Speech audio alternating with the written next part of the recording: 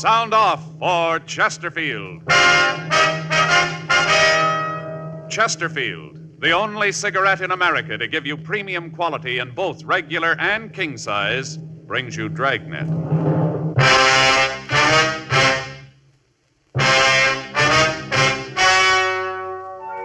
Ladies and gentlemen, the story you are about to hear is true. The names have been changed to protect the innocent.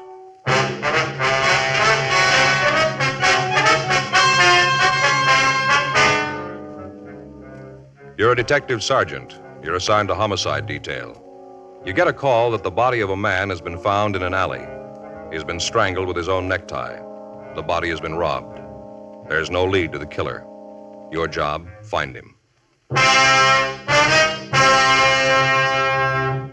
Thousands are changing to Chesterfield, both regular and king size, because Chesterfield is the first and only cigarette to give you premium quality in both sizes. That means king size Chesterfield contains tobaccos of better quality and higher price than any other king size cigarette. It's the same fine tobacco as in regular Chesterfield, and there's enough to give you more than a one fifth longer smoke. Yes, more than a fifth longer smoke from king size Chesterfield. So remember, Chesterfield is the only cigarette to give you premium quality in both regular and king size. Buy 'em either way you like 'em. Premium quality Chesterfield, and much milder.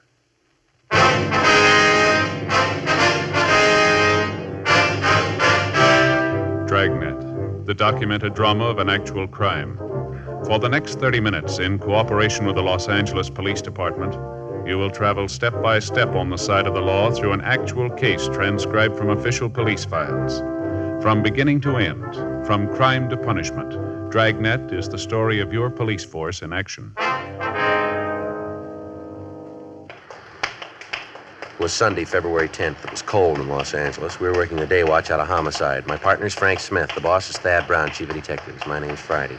We'd gotten the call at 8.36 a.m., and it was 8.49 a.m. when we got to the corner of 18th and Winfield, the back alley. Must be it there. Yeah. Yeah, there's Harper. Sergeant, back here. Hi, Friday, Smith. Harper, where is he? Back here. Who found him? Fellow gives his name as Alexander Jones. Where's he now? Al's got him out in the car. Figured you want to talk to him. Pretty bad off. Yeah. Must have had himself a real time last night. He's seeing things this morning. We picked him up just coming out of the alley. Stopped to talk to him. It looked like he was having a real rough time. Jones, huh? Yeah, probably not his real name. I've seen him around here before. There's the body. Yeah. Strangled. Yeah, ambulance is here. Here's a slip. He was DOA. Yeah. See how the tie is pulled up out of the shirt. Looks like he was robbed. Pockets all turned inside out. Uh-huh. Want to call the crime lab, Frank? Yeah. Found a couple of footprints over here in the gutter. Heel indentation looks pretty good. Yeah. Put this box over them. I don't know if they'll mean anything. Thought I'd better keep them for you, though. Mm-hmm. It's like the body was dragged back here, doesn't it? Marks in the dirt. Yeah. How about the neighborhood, Harper? Anybody around here see anything? Well, I don't know. There wasn't anybody on the streets when we picked up this Jones guy. Haven't had a chance to canvass the area. Didn't want to leave here, you know. Yeah. Well, we better call the office head and send out a couple of men. Call Lee. He'll be right out. Got him at home. He's sound asleep. Said he'd call the lab and have Alan bring the stuff out, and Lee'd come right here. How about the coroner? He's on his way. Well, I want to call the office, Frank, and get some help checking the stores around, see if anybody heard anything. I used the phone in the cigar store on the corner. Guy in there said he opened up about 7, 7.15. Said he didn't know anything about it. Store's back door is right there. See the one with the cigar posters on it? Yeah. All right, come on. I'll call in and then we can check some of the other places, huh? Right. I'll wait here, Sergeant, until the rest of them come. Fine, thanks, Harper. We'll be in the stores around the street side there. Okay. Let us know when Lee gets here, will you? Yeah. What do you think, Joe? Well, I don't know. The way he's dressed there, good clothes, looked like he had money. Doesn't figure, does it? Yeah? What was he doing down here?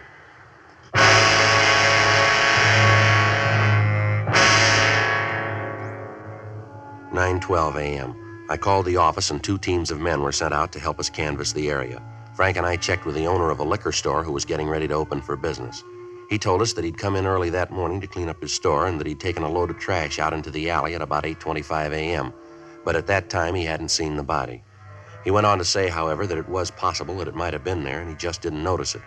9:26 a.m. Sergeant J. Allen and Lieutenant Lee Jones from the crime lab arrived and began collecting the physical evidence. The body and the surrounding area were photographed. Photographs were taken of the footprints that Officer Harper had found. They were compared with the shoes worn by the victim, but they didn't match. The coroner went through the dead man's pockets but found nothing. Everything had been removed, all his personal effects, if any. The crew from the crime lab went through the alley and found a wallet behind the garbage cans at the rear of the liquor store. There was no money in it, but other papers hadn't been disturbed. Driver's license, social security card, and several business cards in the wallet bore the name of Arthur McKinley. The description on the license matched that of the victim. Comparison of the thumbprint on the driver's license with those taken from the body matched. McKinley's home address was listed as 9722 Willetta Street in Hollywood. The coroner removed the body. 10:52 a.m. Frank and I talked to Alex Jones, the man who had been in the alley where the body had been found. We had him take everything out of his pockets. I don't know what you're talking about. I didn't kill anybody. We didn't say you did. All we want to know is what were you doing in that alley? I went there to get away. From what? People. They're no good. None of them. No good. You got a job? Yeah, I work. What do you do? Wash dishes sometimes. Pearl diver? No, sir. I'm No pearl diver. I'm a bartender. I don't feel so good. You got anything to drink around here? You know better than that, don't you? No, I didn't mean booze. Something cold. Feels like somebody's closed a valve in my head. Feels like it's gonna blow apart. Isn't there something, anything, as long as it's cold? How about a Coke? Yeah, be fine. I'll get it for you. Want one, Joe? No, no, thanks. Mind if I go with you? Kind of stuffy in here. All right, come on, we'll all walk down. You ever been arrested, Alex? Yeah, a couple of times. Picked me up for being drunk. What's your real name, Alex? Stafford, Alex Stafford. That's the truth. Where you from? Kansas. Mm-hmm. What are you doing out here? Figured that when I got out of the service, I'd come out here and go to work. Yeah? Got out here, spent a couple of days looking for a job, had my muster and out pay about 400 bucks. Figured I didn't have to go to work right away. Uh-huh. All right, just a second.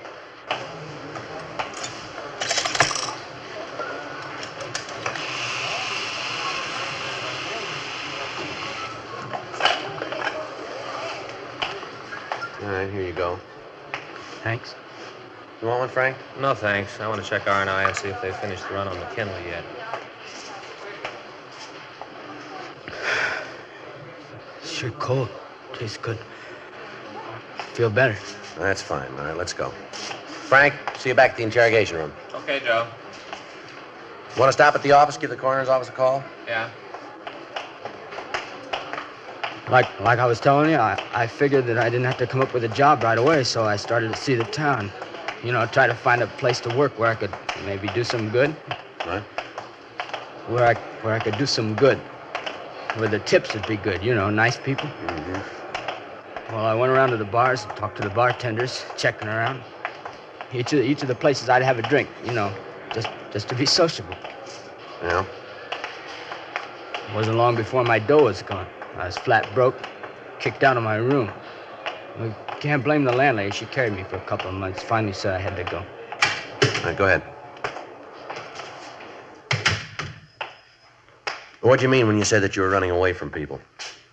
I, I got a job yesterday, washing dishes in a restaurant down on Spring. I worked like a dog. When I left last night, they paid me. I guess the boss knew I didn't have any money, no place to sleep. Yeah. I started to find a bed.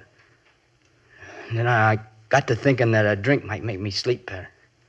So I stopped at a bar and had a couple. I had a couple more. I guess I fell asleep. Yeah. And anyway, I went into the alley, that one where you found the dead man, and I sat down and I went to sleep again. When I woke up, I was walking out when a cop in a car stopped me. Mm-hmm. Look, I, I didn't know the man was in there. Honest, I didn't. Now, you gotta believe me, 'cause somebody's gotta believe me. I didn't know he was there. Anything? Not on McKinley. Found Alex record. Yeah. Like you said, a couple of drunk arrests, that's all. I told you, didn't I tell you that? Huh? I got nothing to hide. I didn't even know the man was there. All right, take it easy.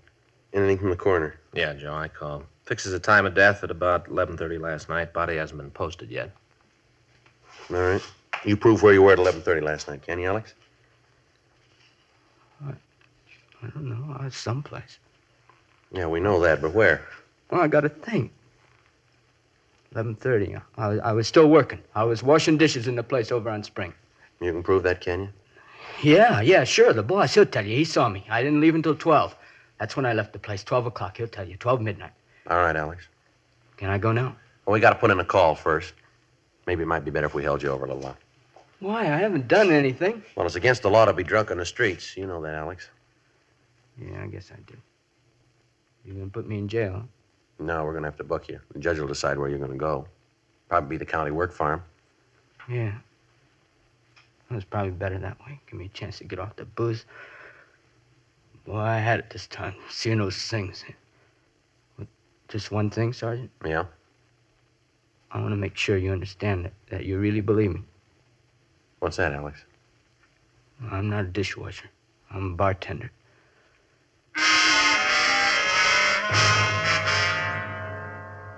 Twelve eighteen p.m. We had Alex Stafford booked at the main jail on a charge of violation of 4127 LAMC, drunk. We called the place where he'd been employed and found that he'd been telling the truth about the time he had left the restaurant on Spring Street. 1.36 p.m. We drove out to McKinley's home in Hollywood. It was a small stucco cottage set into the side of a hill. In front of the house, there was a boy's bicycle and a smaller child's wagon. Frank rang the bell and we waited. Yes? Miss McKinley? Yes, that's right. What do you want? Police officers, ma'am. We'd like to talk to you. It's about Arthur, isn't it? Isn't it? It might be better if we talked inside, Mrs. McKinley. All right, come on in. You have to excuse the way the house looks. I haven't felt like cleaning it up. I've been so worried about Arthur. That's quite all right, ma'am. Now, what is it you want to tell me about him? He's dead, isn't he? You don't have to lie about it. I know he's dead. I spent the whole night thinking about it. You can probably tell I haven't gotten any sleep. I don't want you to lie about it. I want the truth. Arthur's dead, isn't he?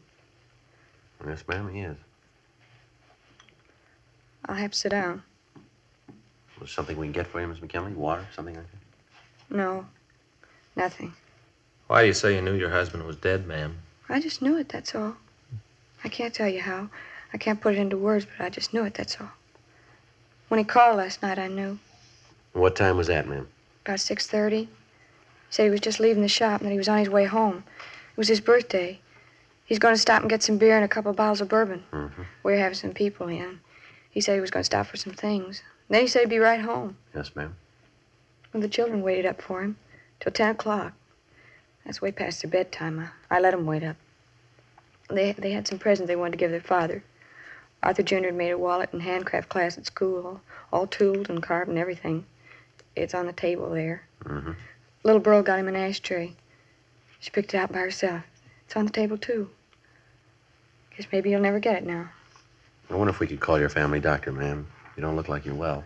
No, no. I just can't believe it yet. But I know it's true.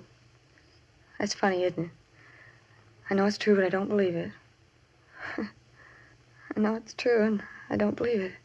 How did it happen? Was it an accident in the car? No, ma'am. He was murdered. Arthur. Arthur, he was murdered? That's right, Miss McKinley. Miss McKinley. There's no Mr. McKinley anymore. He was murdered. I think maybe you better let us call a doctor for you, ma'am. Get you something. No, there's nothing a doctor can do. Nothing anybody can do. Nothing.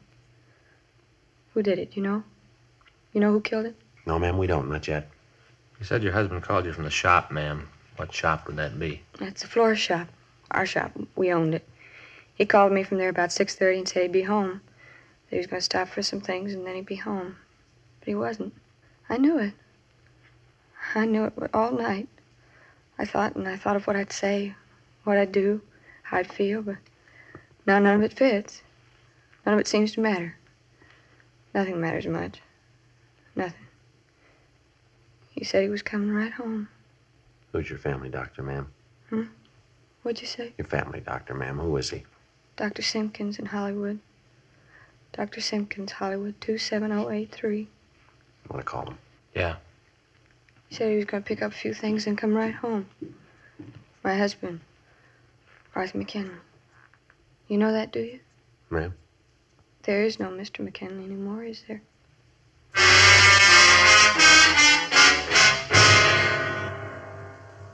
Called the McKinley family doctor. He arrived and gave Mrs. McKinley a sedative.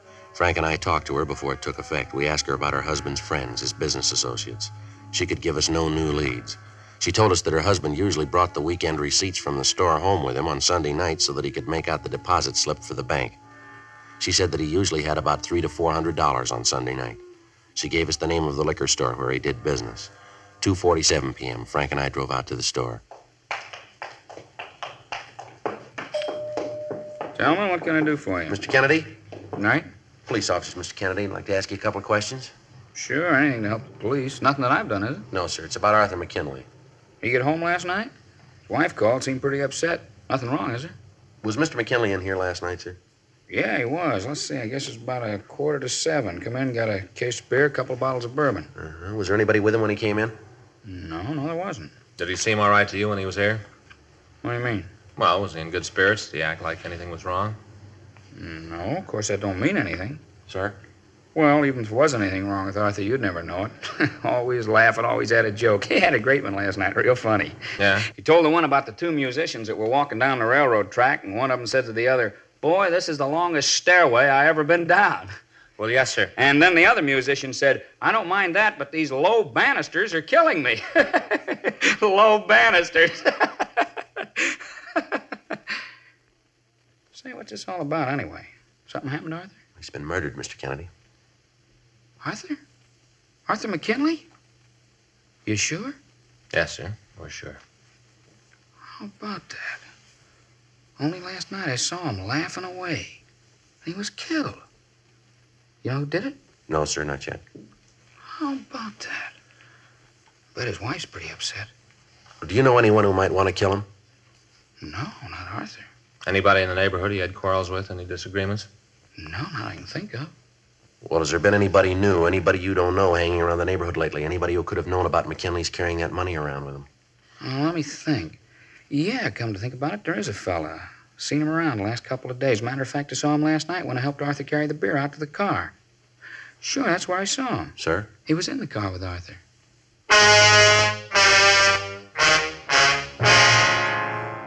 February 10th, 3:50 p.m. We continued to question John Kennedy. He told us that when Arthur McKinley had left the liquor store, he had carried a case of beer out to the car for him. Kennedy said there was a man waiting in the car. The liquor store owner told us that he had seen the man in the neighborhood on several previous occasions, that the man had talked to most of the shopkeepers in the vicinity asking for odd jobs. Kennedy went on to say that he had hired him himself once to wash the front windows of the store. He gave us a complete description, and Frank called it into the office. A local and an APB were gotten out on him. Kennedy was unable to give us his name or tell us where the suspect might live. He agreed to go downtown to the city hall and look through the mug books for us. He called his brother down to take charge of the store, and as soon as he arrived, Kennedy was taken down to the office. 5:17 p.m.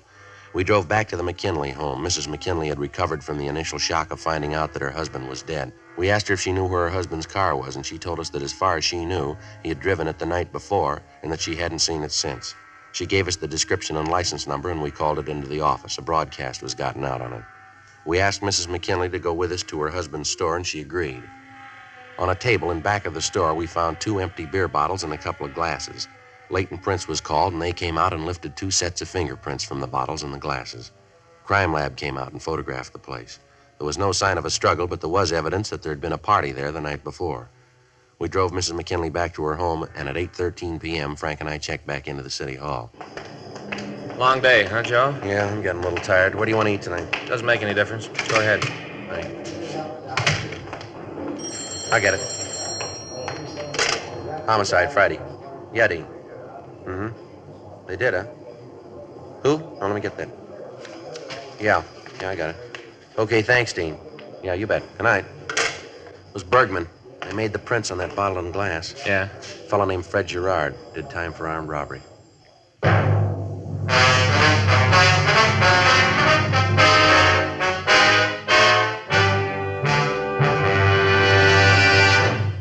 You are listening to Dragnet, the authentic story of your police force in action.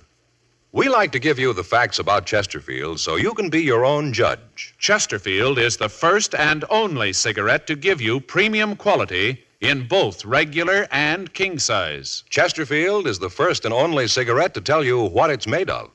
The world's best tobaccos, kept tasty and fresh by pure and costly moistening agents, the best that money can buy. And Chesterfield cigarette paper is of the highest purity, Now, Chesterfield is the first and only cigarette to present this scientific evidence on the effects of smoking. A medical specialist is making regular bi monthly examinations of a group of people from various walks of life. 45% of this group have smoked Chesterfields for an average of 10 years. He reports that he observed no adverse effects on the nose, throat, and sinuses of the group from smoking Chesterfield. Either way you like them, regular or king size, you'll find premium quality Chesterfields much milder.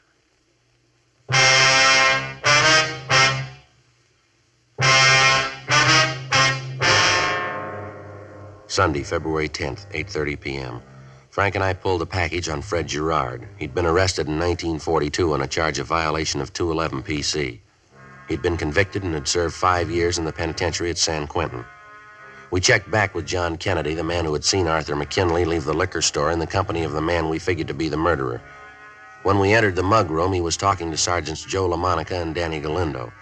They told us that so far he had been unable to identify the man he had seen with McKinley. We showed him a mug shot of Gerard, and he positively identified it. Kennedy went on to say that as far as he was concerned, there could be no mistake, and that as far as he knew, Gerard was the last man seen with the victim before his death. McKinley's car had been found two blocks from the alley where we'd found the body. In the back of it, the officers found the remainder of the case of beer and the two bottles of bourbon. Latent Prints went out and dusted the car. They came up with one good set of prints other than the victim's. When these were checked, it was found that they matched the file copies of Gerard's fingerprints. 9:46 p.m. We drove out to the address listed in Gerard's package. His landlady showed us to his room. It was evident that he hadn't been in it the night before. Frank and I waited for him to return. 10 p.m. 11. 11:30. What are you doing here? You Fred Gerard? Yeah, that's right. Who are you? Police officers. Oh, cops. What do you want with me? You know a man named Arthur McKinley? Why? You know him? Yeah, I know him. Anything wrong with that? When'd you see him last? Last night. Where? At his store. I came by about 6.15. We talked for a while, and then he closed his store. He said he had to get home for a birthday party, something like that. We went down the street to Kennedy's to get some beer, and then he went back to the store. I heisted a couple, and then I left. What time was that? Well, I guess about 8.30 or so. Had to meet a guy out in Santa Monica, so I left. You left McKinley at his store? Yeah, that's right. So what's this all about? What are you giving me problems for? I haven't done anything. All right, take everything out of your pockets. Put it right down here. Look, you got no right to barge in here tell me what to do. I'm clean. And you got no reason for not cooperating now, have you? Well, I suppose not. Then take everything out of your pockets. All right. Yeah. Keys. Your money in your wallet? Yeah. How much you got? I don't know. I have to count it. All right, count it. Let's see. Five, six, seven, eight. Eight bucks and um, 56, 70, 80, 90, uh, 92 cents. Canadian penny. Was there anybody with McKinley and you when you were drinking? No, just went in the back of the store to have a beer, a little talk. We got along pretty good. He used to hire me once in a while, clean up a store, sweep out, things like that. Mm. Yeah. Was he feeling all right when you left him? I guess so. I didn't ask him, but he didn't say anything about it. Just said he had to get home for a party, that his wife would be hacked if he was late. Like I said, I left at 9.15. You might ask Stu Bennett. He might be able to tell you something. Who's he? Owns a little grocery just down the street from McKinley. You say he might know about McKinley? Yeah, he was there when I left. I was walking out, when Mr. McKinley opened the door, Bennett was walking by. He said he had some things he wanted to talk to McKinley about. Uh-huh. And when I left, Bennett went into the store. What's this all about, anyway? Something happened to McKinley? He's been murdered. Oh, no, kid. You're a nice guy. You, you figured I did it, huh? That's the way it looked. Yeah. Well, I did some time. I won't try to con you. You'll probably know all about it anyway. I, I wouldn't kill anybody, though. I'm going straight. I've been working every day since I got out. Mm-hmm. I'll tell you, though. Yeah. You might talk to Stu Bennett. He was with him when I left. Fred Gerard gave us a complete description of Stuart Bennett. We called the name into R&I, but he had no record. We checked Bennett's store and found a card on the front door that gave his home address. Frank and I drove out to his house. He lived in a new apartment development in the southwest section of town. Monday morning, 12:47 a.m. We rang the bell to his apartment. He's probably asleep.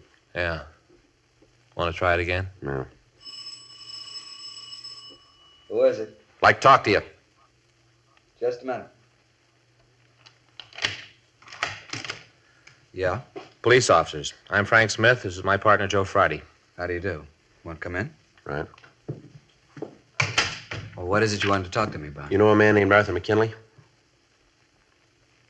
Do you? I knew you'd find out. I knew it. I knew it right after it happened. Knew it right away. All right, you want to get dressed? Yeah, all right. I came home last night after it happened. I thought about it. I thought and thought. I wanted to go and tell you about it. I knew that I'd done a terrible thing. Killed Arthur. Killed another human being. You got to understand one thing, Mr. Friday. What's that? It's important to me. I'm not a vicious man. Why'd you kill him? I stopped last night to talk to him about all of us getting together as sort of a pool, hiring Fred to sort of take care of all the stores. That's what I went to see him about. I thought it'd be nice to have someone to take care of the stores, you know, wash the windows, sweep up, and we'd all chip in and pay him. Sort of a pool, like I said. Yeah? We talked. Arthur wasn't too much in favor of the idea. Said he'd been thinking about giving Fred a regular job in the flower shop. Said things were real good with him. He thought he'd take on an assistant. Things were going real fine for him. All right. You better get dressed. We'll go downtown. After I killed him, I took him out of the store, put him in an alley. Yeah? Now, I wanted to come and tell you about it. I went down to City Hall. I walked up the stairs on Spring Street. You know the big ones? Yeah. I was going to give myself up. I wanted to tell you about it. And then when I got there, the doors were closed. The sign said to use a Main Street entrance. I sat down on the stairs. Sat there for a long time. I thought about telling somebody about what I'd done. And then I walked around by the police department. On the walk, it goes around. I looked into the window and saw the detectives. I wanted to go right in and tell them about it. All right. Come on. Get your clothes on. Let's go. Now, that should prove it to you. What's that? I'm not a vicious man.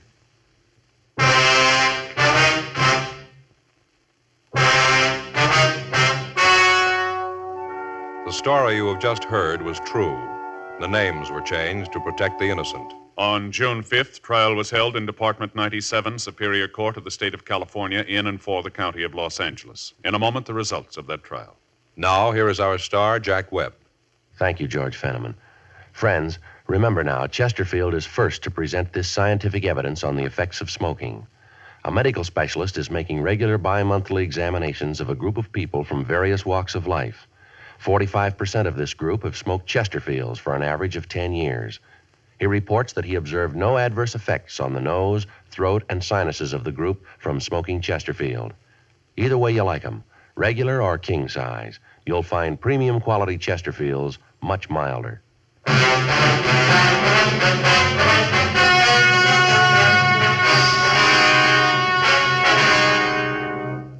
Stuart Carlisle Bennett was tried and found guilty of murder in the first degree. He is now serving his term in the state penitentiary, San Quentin, California. Murder in the first degree is punishable by death or by confinement in the state penitentiary for life.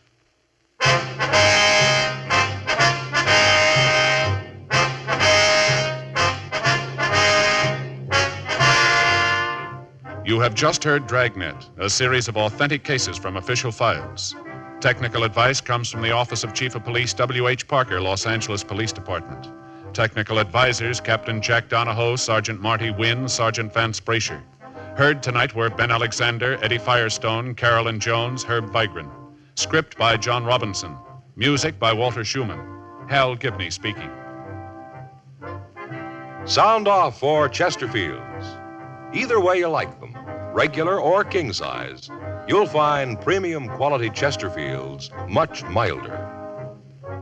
Chesterfield has brought you Dragnet, transcribed from Los Angeles.